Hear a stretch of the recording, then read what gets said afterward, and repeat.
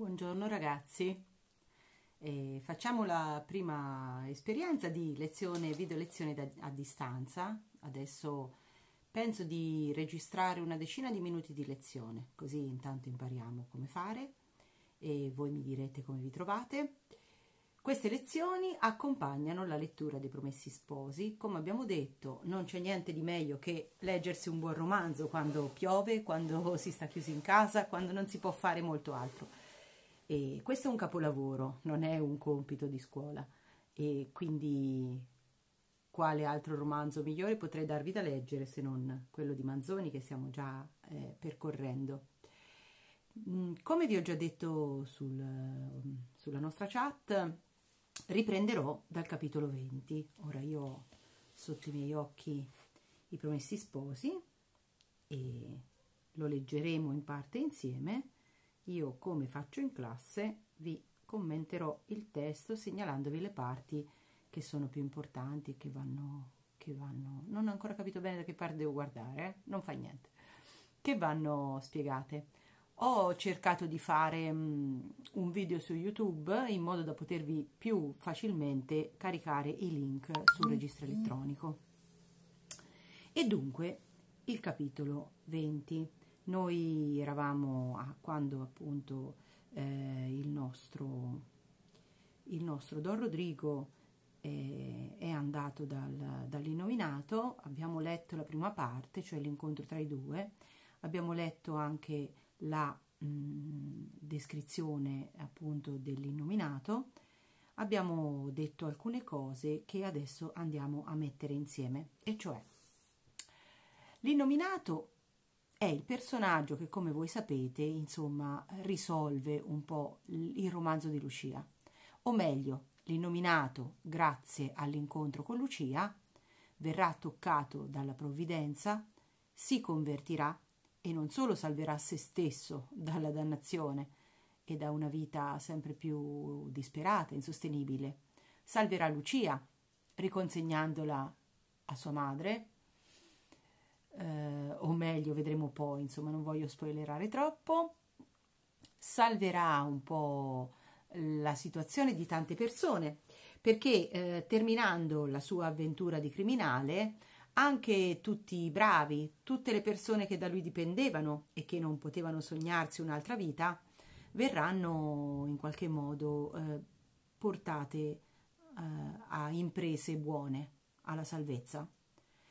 Vedremo, anzi leggerete nei capitoli insomma, che poi andranno avanti, che l'inominato diventerà col suo castello in, imprendibile una difesa per la popolazione che trova rifugio dentro quel castello più avanti proprio dalla minaccia della peste. Ma andiamo per ordine. Sapete dunque che l'inominato in questo momento ci è presentato come un personaggio che sulla soglia ormai della vecchiaia comincia ad avere disgusto, eh, ad essere stanco dei suoi crimini. Non è ancora un rimorso, non è ancora un pentimento, ma è stanchezza ed è anche eh, un peso. Ricorda, e sono troppe le persone a cui ha fatto del male. Ogni volta però che mm, si presenta un suo sottoposto a chiedere il suo impegno, lui si sente in obbligo di promettere il suo aiuto perché dirà appunto più avanti ho promesso e ho promesso perché è il mio destino anche se Don Rodrigo è una bestia. Insomma Don Rodrigo ottiene la promessa che l'innominato farà il suo lavoro.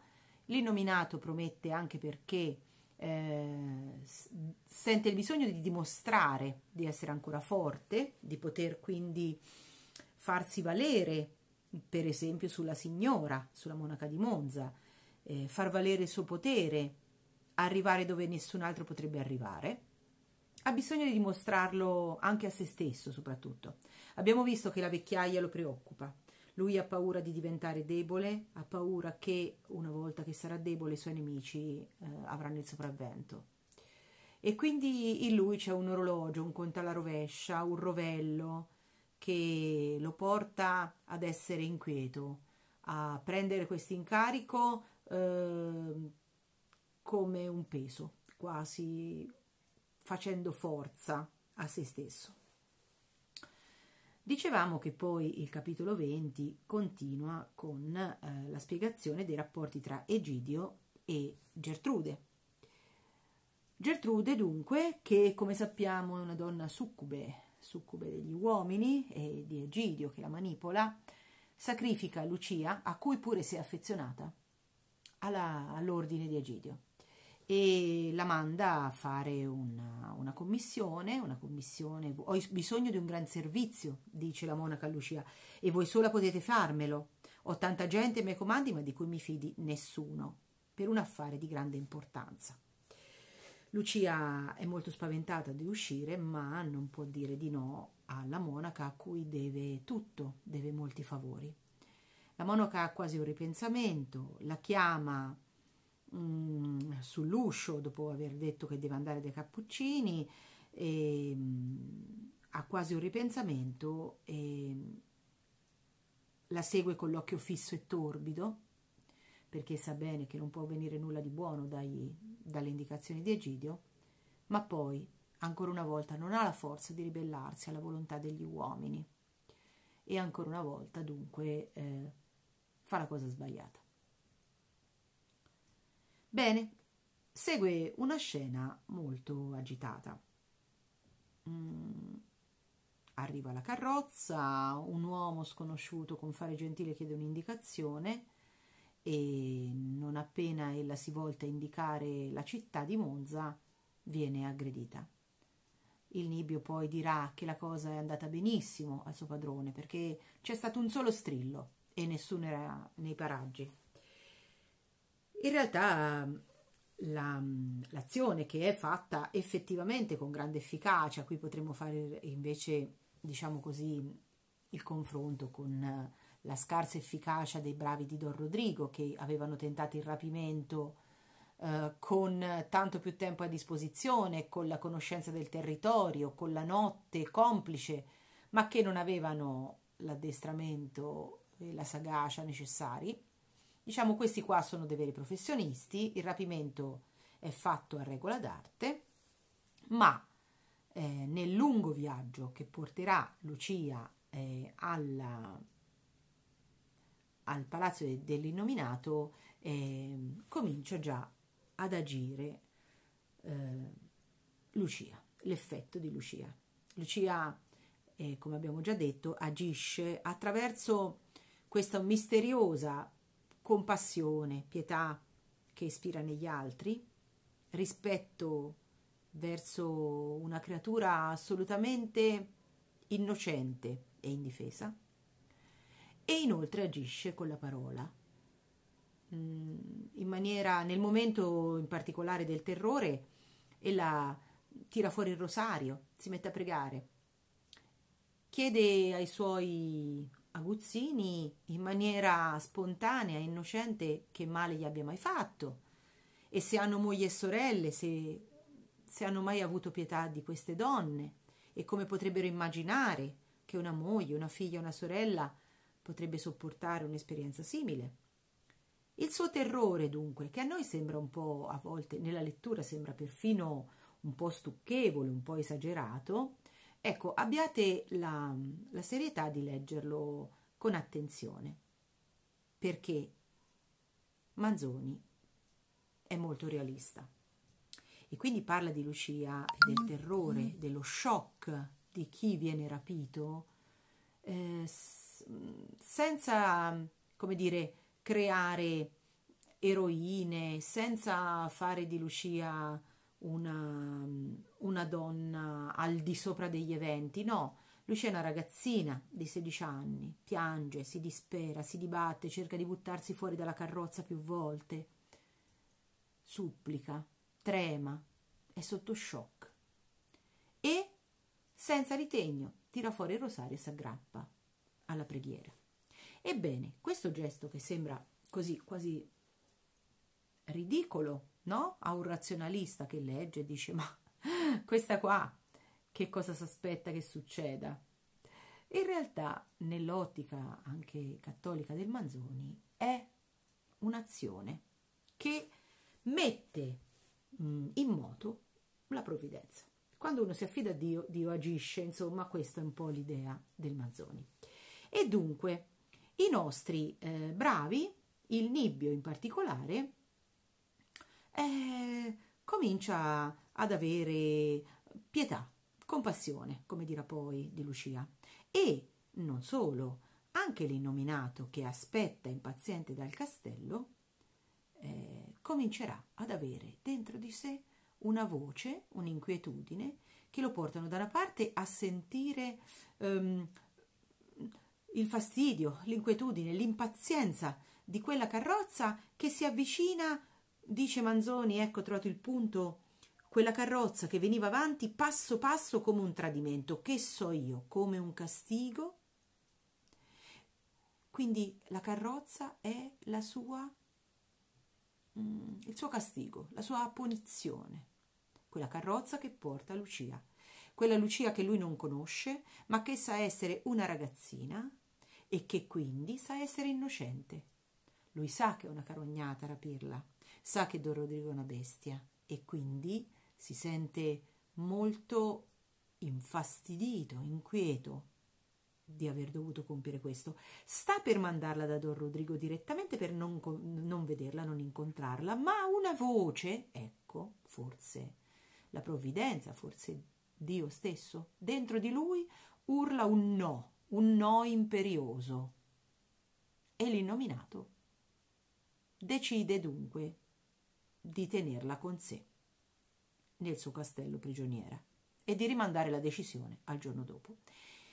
Ultima cosa interessante di questo ventesimo capitolo, che è piuttosto lungo, è il fatto che mentre l'innominato, abbiamo visto, dall'alto del suo castello d'Aquila aspetta la preda, il Nibbio si sta attrezzando per andare a far rapporto, la, la carrozza, come sapete, si fermerà alla malanotte, dove c'è il, questa sorta di taverna che è il corpo di guardia mh, per l'accesso alla stradina che porta al castello. Ebbene, intanto l'innominato, per far qualcosa, non sopportando l'inquietudine, chiama un personaggio su cui due parole spendiamo e dopodiché, ligi al quarto d'ora di lezione, mi fermo. Il personaggio è una vecchia, una vecchia che, mm, di cui nessuno sa più nemmeno il nome. È interessante questo. L'innominato chiama la vecchia, gli chiede, chiederà alla vecchia mh, mm, di andare alla malanotte ad accogliere, diciamo, Lucia e a farle un po' di coraggio.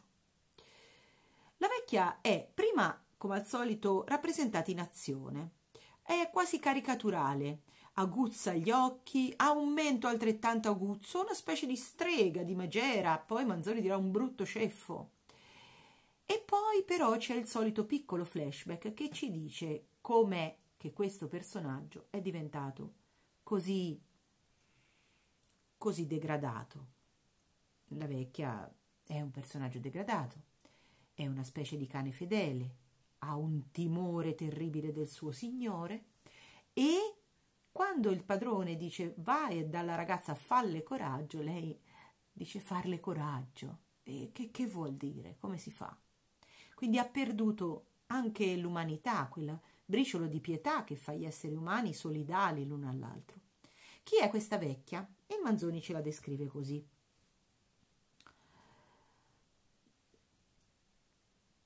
Era costei nata in quello stesso castello da un antico custode di esso e aveva passato lì tutta la sua vita. Ciò che aveva veduto e sentito fin dalle fasce le aveva impresso nella mente un concetto magnifico e terribile del potere dei suoi padroni, e la massima principale che aveva attinta dall'istruzione e dagli esempi era che bisognava ubbidirli in ogni cosa, perché potevano far del gran male e del gran bene. L'idea del dovere, deposta come un germe nel cuore di tutti gli uomini, svolgendosi nel suo insieme coi sentimenti d'un rispetto e d'un terrore, d'una cupidigia servile, s'era associata adattata a quelli.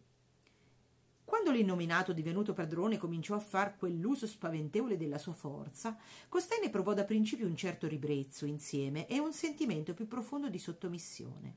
Col tempo s'era avvezzata a ciò che aveva tutto il giorno davanti agli occhi e negli orecchi.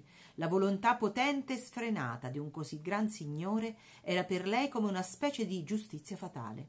Ragazza già fatta aveva sposato un servitore di casa il quale poco dopo, essendo andato a una spedizione rischiosa, lasciò le ossa su una strada e lei, vedova, nel castello. La vendetta che il Signore ne fece subito le diede una consolazione feroce e le accrebbe l'orgoglio di trovarsi sotto una tal protezione.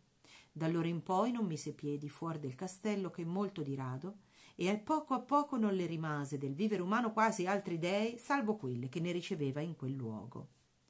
E insomma gli sgherri le davano da fare, curava ferite, cucinava, rammendava, lavava. Era un po' la donna che serviva tutti quegli uomini violenti. Da nessuno mai fu chiamata per nome, da nessuno mai riceveva una parola buona, da nessuno mai aveva un gesto gentile. Era la vecchia, la vecchia a cui si davano i mestieri più umili, che veniva spesso rimbrottata, spesso stuzzicata per divertimento, per ozio, in maniera anche crudele. Una donna, una creatura sola, che è stata allevata dentro un ambiente di violenza, che non ha conosciuto mai altro che violenza, che l'unico mm, bene che ha avuto è stata la vendetta dell'uomo che gli era stato dato come marito da parte del Signore. Per lei l'inominato è Dio, è come Dio. Per lei non esiste altro mondo che quello. I rapporti umani sono brutali, sono violenti, sono anaffettivi. E lei è una donna anaffettiva ormai non sa cosa sia l'amore, cosa sia la gentilezza, non ne ha mai ricevuto, non l'ha mai imparato, non ha mai avuto modo di provarlo. Lei conosce solo un modo per sopravvivere, difendersi, cercare di arraffare qualcosa di buono da mangiare, cercare di trovare un posto comodo o al caldo per dormire, perché nessuno si preoccupa di questo per lei. Allora lei è stizzosa, cerca di scansare le fatiche più dure, hm? pigra forse, ma probabilmente soltanto una creatura che cerca di sopravvivere, ed è una creatura che non mette in discussione la violenza. Anzi, l'innominato, la sua forza, per lei sono ammirazione, sono fonte di ammirazione. L'innominato è Dio. Manzoni con questa vecchia, che è un piccolo ritratto, un piccolo capolavoro, riprende un po' le idee del suo nonno Beccaria. Spesso gli uomini violenti sono soltanto dei disgraziati che non hanno scelta, non hanno altra scelta. Fin dalle fasce non hanno conosciuto che violenza, non hanno altro modo di sopravvivere se non quello di rubacchiare, difendersi dalle offese degli altri, cercare di scansare pericoli o fatiche troppo disumane. Sono creature che non hanno mai ricevuto amore e non sanno darne. Sono creature che non sanno cos'è il bene. E in questo Manzoni è uno dei grandi padri dell'Italia. Che, che se ne pensi ora della nostra società, della nostra scuola? Chi ha un'educazione, chi ha una famiglia che lo ama, chi ha qualcuno che fa qualcosa per lui, qualcuno che si prende cura di lui, ha una scelta nella vita. C'è tanta gente che questa scelta non ce l'ha per questo Manzoni non è un bacchettone moralista che giudica i buoni e i cattivi. Egli vede le ragioni e le offese che portano gli esseri umani a perdere la loro umanità e la vecchia è proprio uno di questi. Arrivederci ragazzi.